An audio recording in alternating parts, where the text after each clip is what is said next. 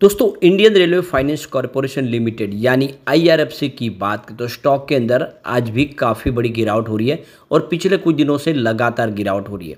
Stock ने एक ज़बरदस्त हाई बनाई और उसके बाद में गिरावट का दौर शुरू हो गया। वैसे तो ऑलरेडी अगर आप देखें तो मैंने पहले ही डिस्कस कर लिया था आपके साथ में कि बजट के बाद यहाँ पे नरमी आ सकती है। ये स्टॉक बजट के पहले ही थोड़ा सा दबाव में ऑलरेडी आ चुका था क्योंकि काफ़ी ज़बरदस्त रिटर्न दे चुका था।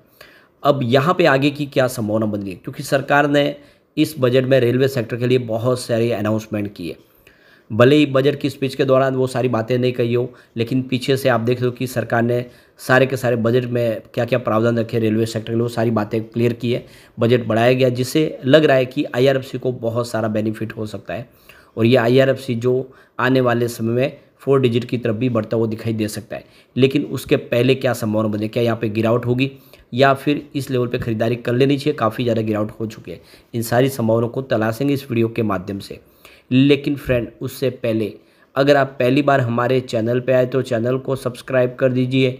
एक बेल आइकॉन दबा दीजिए ताकि जब भी नया वीडियो बने, पहला नोटिफिकेशन आपको मिले, वीडियो पसंद आए तो लाइक से ज़रूर कीजिए।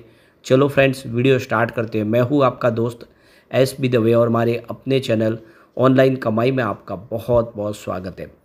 तो अभी तीन बजे के आसपास का टाइम है। बाज़ार क्लोज होने में अभी आधा घंटा बाकी है। बी एस सी सेंसेक्स में मामूली सी गिरावट है। एटी थाउज़ेंड सिक्सटी नाइन के स्तर पे देख सकते हो कि सेवेंटी नाइन पॉइंट की गिरावट है। तो ये अच्छी बात है कि फिर से बाज़ार ने अस्सी हज़ार के स्तर को अभी छुआ हुआ है। वैसे निफ्टी फाइनेंशियल सर्विस में गिरावट थोड़ी और ज़्यादा है। Twenty three thousand forty eight के स्तर पे पॉइंट फाइव ज़ीरो परसेंट की गिरावट है। यानी लगभग आधा परसेंट की गिरावट है। और आई आर एफ़ सी में काफ़ी बड़ी गिरावट है।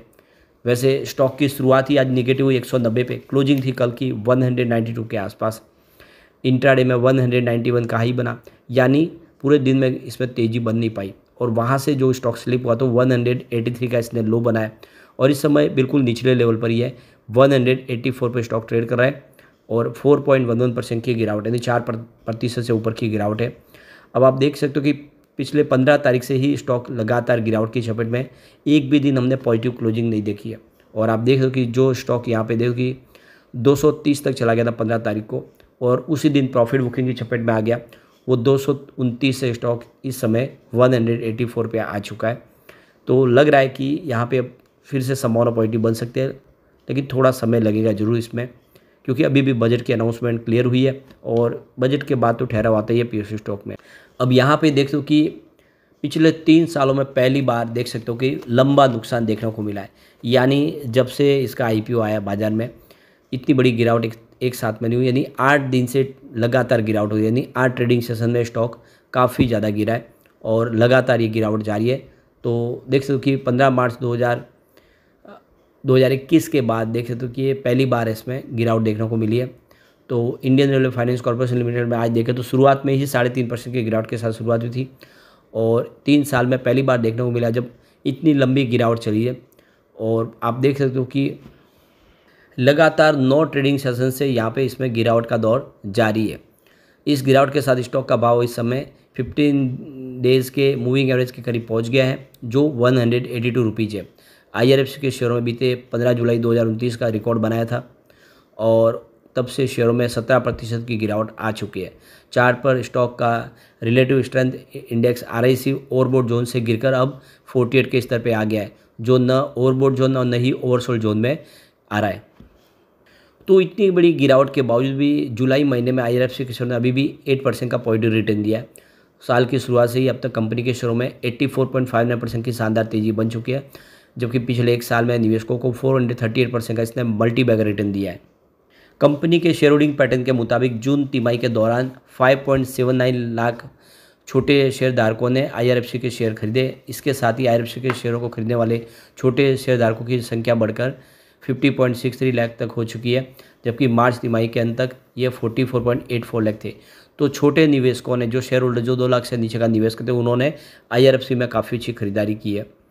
घरेलू म्यूचुअल फंड ने भी जून तिमाही में आईआरएफसी में अपनी हिस्सेदारी बढ़ाई है। मार्च में जो म्यूचुअल फंड की होल्डिंग थी वो पॉइंट वन एट परसेंट के आसपास थी, जो बढ़कर पॉइंट फाइव फाइव परसेंट हो चुकी है। तो काफ़ी बड़ा निवेश बढ़ा है बड़े फंड हाउस ने।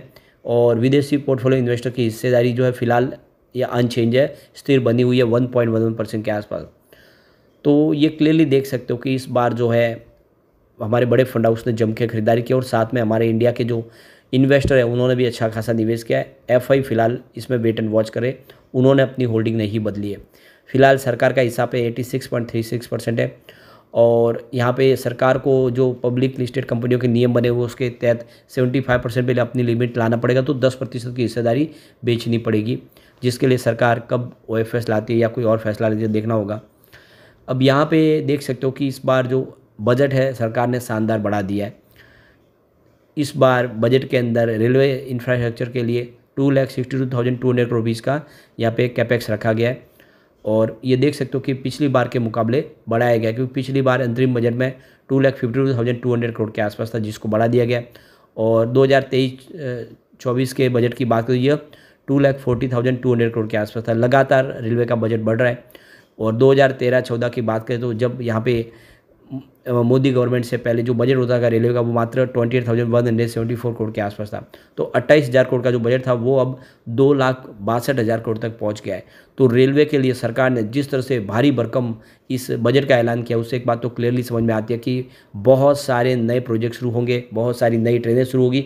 ऐसे में आप देख ही सकते हो कि आईआरएफसी की जो प्राइज़ है, वो भी कई गुना बढ़ सकती है, तेज़ी से इसकी प्राइस बढ़ सकती है आने वाले समय में।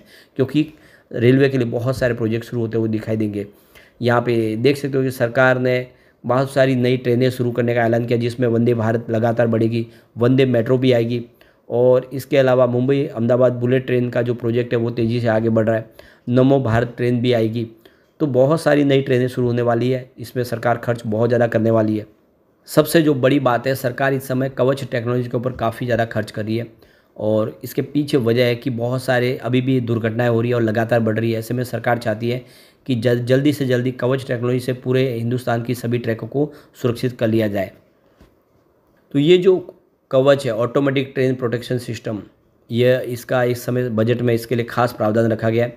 सरकार आने वाले समय में सेफ्टी के ऊपर बहुत ज़्यादा और तेज़ी से खर्च करेगी। तो कवच टेक्नोलॉजी को तेज़ी से आगे बढ़ाने के लिए जो पुराने ट्रैक है, उनको ऑटोमेटिक सेफ्टी से लैस करने के लिए करीब सरकार ten thousand eight hundred seventy nine crore का खर्च करेगी और कवच टेक्नोलॉजी धीरे धीरे सब जगह पे इंस्टॉल की जाएगी। और ये एक बहुत बड़ी इसके लिए पहल दिखाई दे रही है। ऐसे में हम कह सकते हैं कि आने वाले समय एक अच्छी तेज़ी यहाँ पे देखने को मिल सकती है। तो बहुत ज़्यादा गिरावट हो चुकी है। आने वाले समय ये गिरावट ठहरेगी और फिर यहाँ से एक अच्छी तेज़ी बनेगी। लॉन्ग टर्म के लिए फंडामेंटली कंपनी बहुत मज़बूत है। आप देख सकते हो कि आईआरएफसी को सभी टैक्स के दायरे से बाहर रखा गया ये इनकम टैक्स पे भी पे नहीं करती है। इसके अलावा जो भी फंड प्रोवाइड करती है रेलवे कंपनियों को, उसकी गारंटी भी सरकार लेती है। और इसीलिए इसका जो बिज़नेस मॉडल है, वो सबसे शानदार है। यहाँ पे कम्युनिटी सेंटिमेंट भी स्टॉक के साथ बना हुआ है। आप देख सकते हो कि सेवेंटी वन परसेंट बाई की कॉल है। ट्वेंटी फोर परसेंट सेल की कॉल है और फाइव परसेंट होल्ड की कॉल है। इसका मतलब ये हो गया कि हंड्रेड में से सेवेंटी सिक्स परसेंट लोग इसको अभी भी लेना पसंद करें, यानी लोगों का रुझान स्टॉक को लेकर बहुत ज़्यादा पॉजिटिव है। अब इसमें पीवट लेवल के माध्यम से समझ लेते हैं कि गिरावट में कहाँ तक जा सकता है और तेज़ी बनी तो कहाँ तक जा सकता है। तो यहाँ पे इस लेवल से गिरावट होती है तो 194 का पहला सपोर्ट है। ये टूटा तो स्टॉक आपको 183 तक जाता हुआ दिखाई दे सकता है। गिरावट और जारी रही तो 166 तक जा सकता है। तो पहला सपोर्ट ऑलरेडी टूट चुका है। अब तीसरे सपोर्ट का आपको खास ध्यान रखना है। इससे नीचे बड़ी गिरावट हो सकती है। पॉजिटिव माहौल बना तो 222 का फ़र्स्ट रजिस्टेंस है। इसको पार कर लिया तो स्टॉक आपको सीधा 240 तक जाएगा यानी एक बिल्कुल फ्रेश आई और ज़बरदस्त तेज़ी से दौड़ता हुआ स्टॉक दिखाई देगा। और जो तीसरा रजिस्टेंस है, वो 251 के आसपास नहीं 250 को पार कर सकता है। ऐसे में एक अच्छा मौका है। लॉन्ग टर्म का नज़रिया लेके इस गिरावट का फ़ायदा उठा के खरीदारी करनी चाहिए। लग रहा है कि जल्दी यहाँ पे गिरावट थमते हुए दिखाई देगी। लेकिन फ्रेंड कोई भी इन्वेस्टमेंट करने से पहले अपने फाइनेंशियल एडवाइजर बड़े ले लें या अपना खुद का रिसर्च करें, क्योंकि मैंने वीडियो आपके एजुकेशनल पर्पज़ के लिए ही बनाया। वीडियो पसंद आए तो लाइक से ज़रूर कीजिए और चैनल को सब्सक्राइब कर दीजिए। Thank you friends